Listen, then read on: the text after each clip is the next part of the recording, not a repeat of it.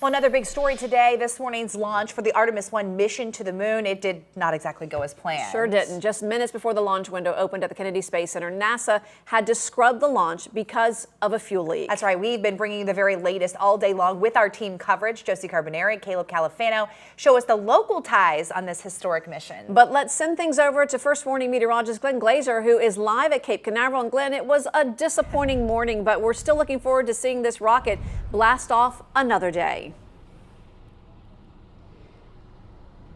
Yeah, hopefully on Friday the uh, the new launch window will open around 12:48 p.m. and uh, Artemis will be able to take off here on this Artemis 1 mission. It was a difficult morning right from the start. We had lightning offshore, so they had to fuel the rockets a little bit later than they expected to. Then there was a disruption in communication between the Orion spacecraft and communications down below at the tower. And then they thought there was a, maybe a crack in one of the tanks. They saw a line of frost developing, but it ended up being a crack in the foam. So uh, Uh, after that, the thing that really kind of caused them to scrub the launch was what's called an engine bleed. Right before the rocket's ready to take off, the engines start to circulate the hydrogen, the liquid hydrogen that fuels that bottom core part of the rocket, and one of the engines was not cycling properly, and so they just decided to call it a day and, and rearrange and postpone everything until Friday. You know, this mission is the first step in sending people back to the moon. Artemis 1 is unmanned, so the Orion spacecraft spacecraft that sits on the top won't have any astronauts in it, but it will have a mannequin inside wearing a spacesuit, and it'll be have it'll have a lot of sensors all over it. It'll be kind of feeling everything that happens or would happen to a real human being if they were in that rocket. So the number one priority of the Artemis 1 mission is to see what happens with the Orion spacecraft and how astronauts may be impacted inside that spacecraft. The second priority is really to see if the propulsion system works properly. Make sure all the rockets work properly, make sure the solid rocket boosters depart and fall off to the sides as the rocket continues to launch up into space, and then the core stage and then the upper stage as well.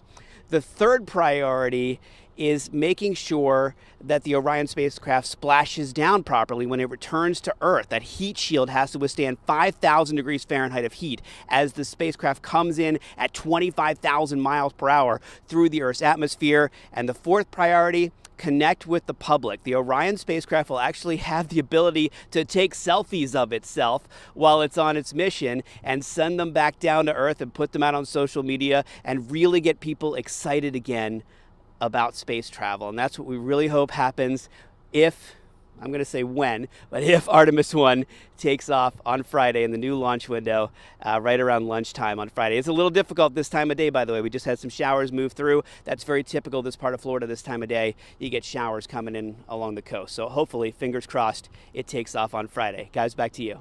All right, we're going to go from if to when. That's what we're keeping our fingers crossed for. Glenn, thank you for that. And people who traveled, of course, from across the country to watch the rocket blast off in person missed out on what would have been such an exciting show this morning. These crowds gathering in Jetty Park near the launch site. And then 80 miles from there, people gathered in Vero Beach hoping to see the rocket as it went up into the sky. Our Caleb Califano has been there all day talking to people about what the Artemis mission means to them. What started as a busy boardwalk ended up being pretty quiet for most of the morning as the postponement of the Artemis 1 launch caused everyone to pack their bags up and wait for the next time. Before the launch was postponed, people from across the Palm Beaches and Treasure Coast gathered at the Vero Beach Boardwalk. This morning we had the chance to talk to the folks young, old, and everywhere in between. Frank Smith remembers the start of the space race and the impact the Apollo missions had. From then to now, he's impressed with the advances over the decades. Just the technology amazes me, what we're able to do, and uh, you know how they make it happen. Meanwhile, Mateo Basila is a nine-year-old boy. For him, it's the opposite. He tells me this would have been the first time he's ever seen a rocket go to space. I'm feeling kind of excited because um, it's just like they're going to the moon again, and it's really cool to see something like that. Well, everyone here was definitely disappointed. Those across Vero Beach tell me the next time the Artemis 1 is up and running, they'll be right back here at the boardwalk. For now, we're in Vero Beach. Caleb Califano, WPBF 25 News. Caleb, thank you. And these missions are always teachable moments, especially for students experiencing launches for the very first time. Our Josie Carbonari visited students at Limestone Creek Elementary in Jupiter, where a teacher has a very special connection to the launch.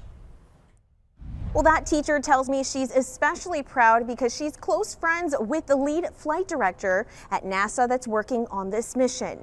She's been getting direct updates from the Kennedy Space Center, and this morning, fifth graders in Miss Cheryl Kenny's classroom here at Limestone Creek Elementary, they were absolutely thrilled getting first-hand updates. And while the Artemis 1 mission has been postponed for now, once the launch does happen, Miss Kenny tells me she hopes the experience and lessons taken away stay with her students for a lifetime. He's excited, the team's ready to go, they're laser focused in, and they're hoping for a successful launch so that they can then to the next level, which will be a manned mission down the road. Um, I can remember back in the day watching the Apollo missions when I was sitting in a classroom, so I'm hoping that they will remember this and it'll be extra special for them.